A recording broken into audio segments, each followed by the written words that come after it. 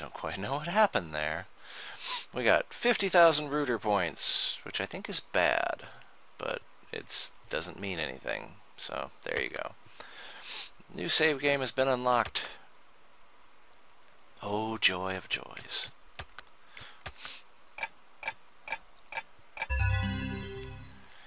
Okay. So, we're in the guest wing again. This game still contains disturbing content. Like a man being covered by bloody fecal matter and loving it.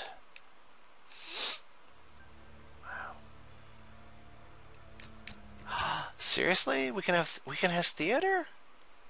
Oh wow, that's cool. I'll have to make sure I hang on to this save game. We can watch her freaking out to the piano. What's this? May Norton. May's Melody. Father and daughter. Sledgehammer. Father and daughter rising. Through the window. The facts. Wandering spirit. Weeping Dorothy. Alyssa's decision. I've got to help them. The acid atrocity. Battle with Corroder. Dorothy and Albert rising. The clock tower. Enter the chopper. Past massacre. Spirit of the Rooders. Chopper attacks. Ritual of engagement. Rooder spirits rising. The return of Linda. Portrait of a Burroughs. Magic lantern. Okay. Scissor family. Dick's transformation. Death of Scissor Woman. Death of Scissor Man. Grandpa turns into a pirate. Alyssa in danger. The final battle was cool. The credits. That's cool. What's the gallery? Ah! What? That's adorable. So there's Sledgehammer. Corroder in his little dress. Chopper's pretty sweet. Scissor Man. I. Hmm. Yeah, I think those are white tights. They almost have to be. She's not wearing tights because you can see scars on her. Doc Man. Lord Burrow Dick Hybrid. Hamilton Manor. Very nice. Alyssa's room. A lot of work goes into these. The set design and stuff. Ugh. That's the hospital, I think? Yeah.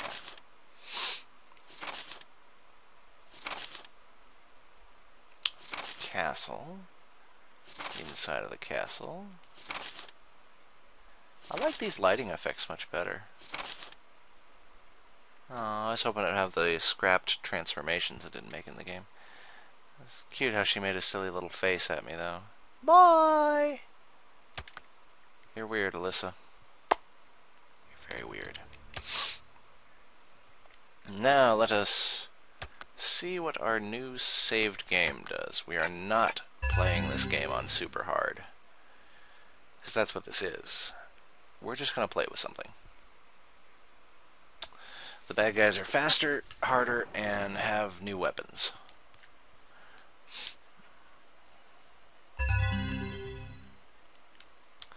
Still have the wardrobe key. Very good. Yeah, I don't keep any of the key items. Oh, the wardrobe key. That's actually the important new item that we need to get. So we need to run up to Alyssa's room.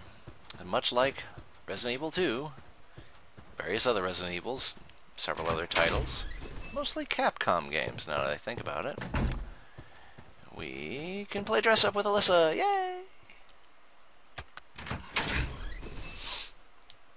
What do we got? Is, is this our Greek goddess outfit? See, the only problem is to play in this outfit, you have to play the game on hard. okay, what else do we got? We have...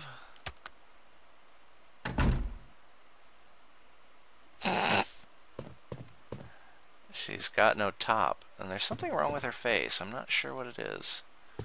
What's wrong with my camera? Where are them jeans in? I get to like a messed up camera angle where I can see what the hell's wrong with her face? Yeah, it's like it's not rendering properly. Like her nose. Oh well, that's okay. What else do we have?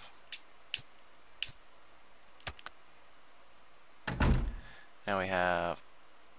Oh my. Okay, it might be worth playing the game again just to play in this. Does she have pants on? No, she doesn't. She does not have pants on. Damn it, Japan. This is unacceptable. This is... Yeah, I think I can see the back of her head. Something weird with my graphical settings. This one has leather thigh-high boots. I'm a little afraid. I think the less said about this one, the better.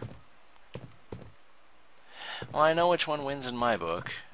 I don't think it affects the cutscenes, though. Hmm. Very seldom does it. I'm curious. Let's see if we can trigger a cutscene. What do we need to do? We need to go find the holy water thing. She's got little daggers on her leg. Tarna! Alyssa the Terrakian. Okay, so we zap ourselves on that. Ah, no, I've been zapped.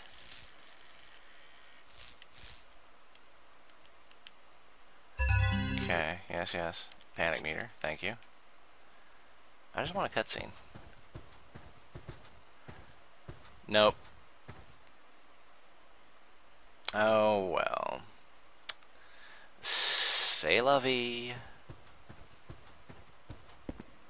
You know I can't help myself.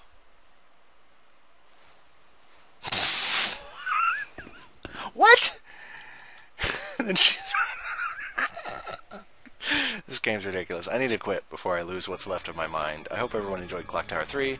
Thanks for watching. Have a good night. And remember, if your grandpa's being nice to you, it's because he wants to kill you and eat your heart.